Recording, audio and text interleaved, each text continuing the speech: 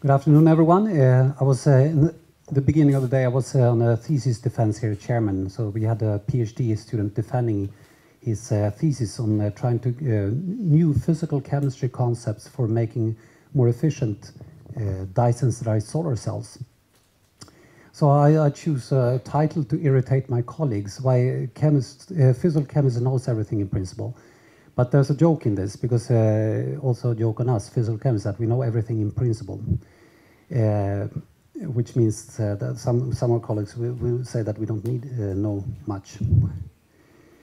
So this is uh, the classical image of a physical chemist, and uh, there are many jokes on the internet you can see of physical chemistry. Just Google that physical chemistry and images, and you will see this this hip hop guy who looks pretty brutal going back in, in the car and the, the text says, yeah, I, I, understood, and I understood everything at PChem class today. This was a good day. So that's uh, so. There, apparently, some people have an image that this is really rocket science.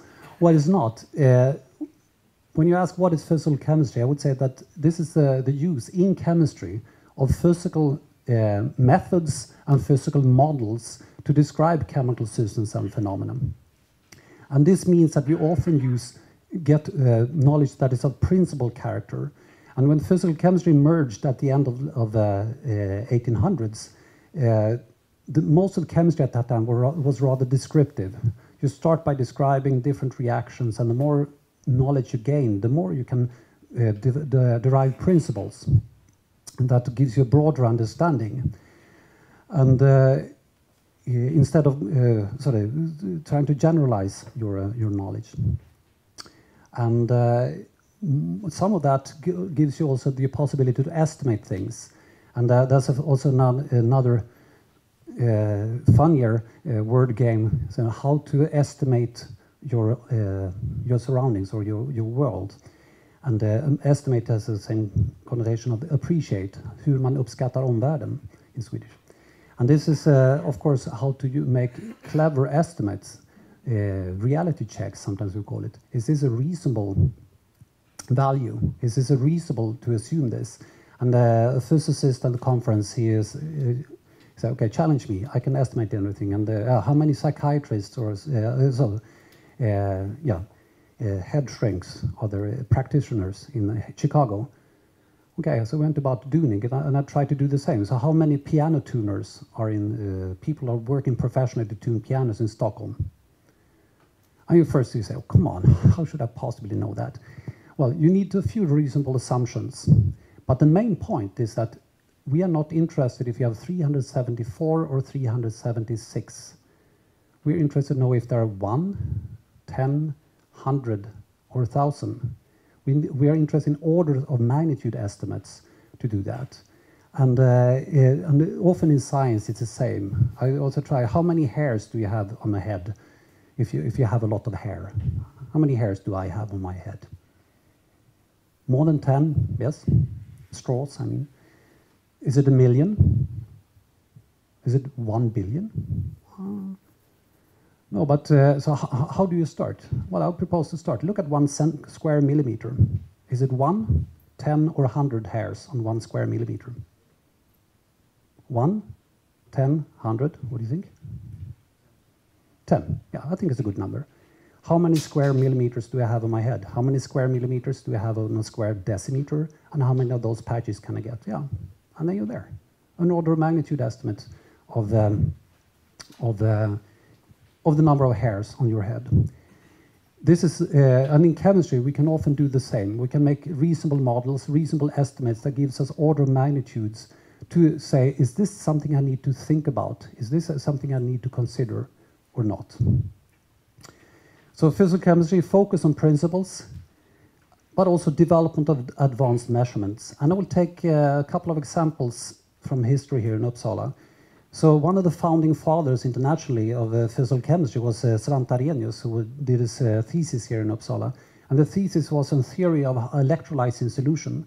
When he started, people believed that, uh, that charged particles, ions in solution, were only formed when you draw current through a solution. But he proposed that when you put an acid, it dissociates in a proton and a negative ion. When you put a salt like sodium chloride, it's a sodium plus and chloride minus. very revolutionary at that time. He got the lowest grade on his PhD thesis, so the student today did much better. But eventually he got the Nobel Prize for that work. He developed it a little bit further. Again, very principled knowledge, general for all kinds of electrolyte dissociating. What he's most famous for in science is the Arrhenius equation of temperature dependence many of you have seen.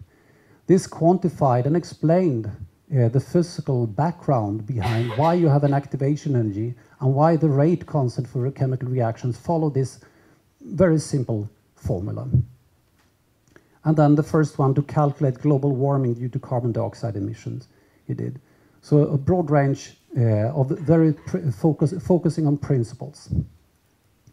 He uh, wasn't too happy in, in Uppsala with the professors here, so he moved to Stockholm and to the Nobel Institute, and then he was uh, founding Stockholm University College that later became St Stockholm University.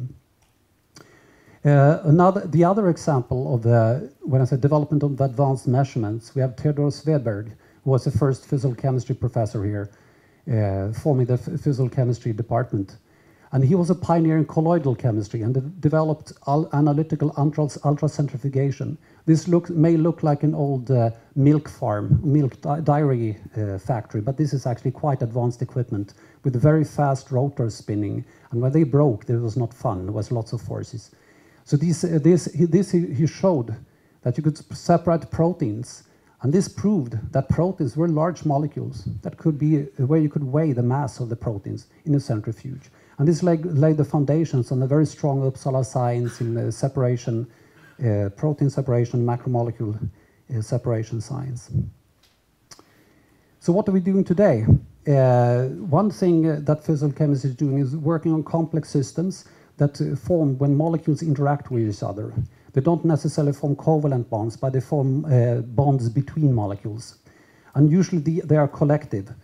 One example are uh, amphiphilic systems, where you have uh, wa uh, water, water-loving head groups uh, and fat-loving tails. They can put, they can um, combine in very in many different kinds of aggregates. And these are called liposomes. So these particular molecules, schematically shown like this, forms liposomes. We have a bilayer, a layer of two of these molecules sticking their heads out on the outside towards the water and uh, forming a, a, hydrophobic film in the middle. And this is exactly how our uh, membranes in the body are built up. And inside this membrane, you then have a lot of proteins and other molecules. So these are, uh, these are interesting in itself to see all the different phases they can go through, different structures that can be formed.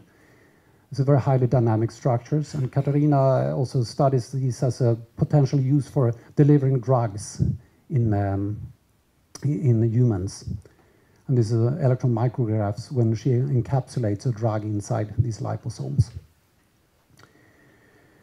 Another thing we do, photochemistry. You heard some photochemistry from Roland Lindh, the theoretical photochemistry. Chemistry. We do a lot of practical photochemistry also in physical chemistry. And in the solar cell group, led by Anders and Gerrit, they are working on molecular solar cells. These are alternative then, low technology alternatives to silicon solar cells. Silicon factories are really expensive, enormously expensive, multi-billion dollar investments, clean room technology.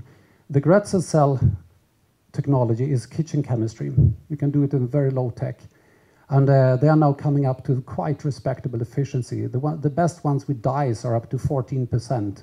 And when you have the perovskite materials, there's some uh, reports even up to 19, 20% energy conversion efficiency, which is better than the silicon cells today. And you, you see the, these are Grätzel cell uh, dye panels on a house. I think this is in Switzerland. But uh, the group here work more on the fundamental fundamental understanding and the development of principles how to uh, uh, take this this technology into uh, by into making a step to make it better. And they have, for example, made important contributions to understanding how charge migrates through this nanostructure of titanium dioxide that is decorated with dyes, and uh, how, how you can replace this electrolyte with I minus, I3 minus that wasn't good so nowadays, this is not the best electrolyte, but instead a cobalt electrolyte that Anders and Gerrit developed here in Uppsala. Jan Davidsson uh, represents uh, also, uh, let's say, uh, the advanced uh, method, use of advanced physical methods. He's been looking at chemical dynamics and laser spectroscopy, and especially for several years now, he's been one of the world pioneers in developing ultra-fast X-ray diffraction. X-ray diffraction, diffraction is a classical topic in, in, uh, in chemistry where, that you use to find the structure of crystals. But this is always, has always been done in a static mode. You don't get dynamics, you get a static structure. But now the vision has been for several years how to use these methods that are very good to precisely follow the movements of atoms, to get time resolved information, to really follow chemical reaction. And this is what uh, uh, Jan has been doing with colleagues in solution. And uh, they have, uh, for looked at very small molecules like diiodomethane, but also large molecules like uh, bacterial reaction centers and bacterial rhodopsin. Uh, uh, so large proteins by X-ray diffractions in solution.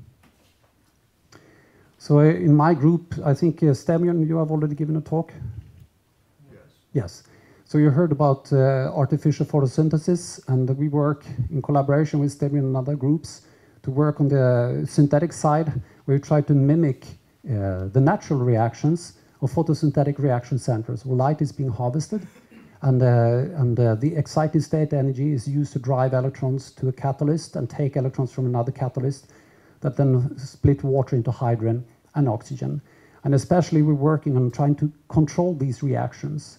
Because one, you need four electrons to get four, four uh, to, to split water. So you need four uh, uh, photons to come in and couple them to four, to four holes for water chemistry. And this has not been done efficiently, are many principal mechanisms that are not understood how to couple these reactions. It's like having a gear switch from one electron chemistry here to two electron chemistry here and four electron chemistry there. An important part of that is to control electrons and protons together, which uh, I've been working on for several years. And uh, here, here I show a, uh, this is a cover of next week's Journal of American Chemical Society, where we have a molecule which is actually a tyrosine that you find in natural photosynthesis and many other proteins. This we've incorporated with a colleague in the United States. She has made a very nicely well, well-defined uh, model protein uh, that is structurally characterized, and uh, we have been sh showing that by photochemical technique we can photo-oxidize this and make a very, very stable tyrosine radical. And this helps us to understand how these tyrosine radicals work in nature and how you and then we're going to manipulate the environment here to manipulate and understand better its reactivity. So these are the kinds of things uh, that we are doing in physical chemistry here in Uppsala today. But, and uh, I started by showing what physical chemistry is in contrast to what was previously done in chemistry. I mean, there's always a reason, a background why a new field emerges. But today, these old disciplines are, of course, mixing. If you, if you invent words like bioinorganic physical chemistry, then you realize that the disciplines are really mixed to a large extent. But uh, yeah, this was uh, this was all. I think there's uh, what, what, I showed here that many of these topics that we work on today are of course uh, front topics. Physical chemistry didn't stop here or here. These looks like old guys, and what they did then we know. But this is what we are doing today. And uh, one, one, thing, one thing I can promise you is that however clever we are, we're not going to exhaust the topic. There's always going to be a lot of more interesting things to do. Okay.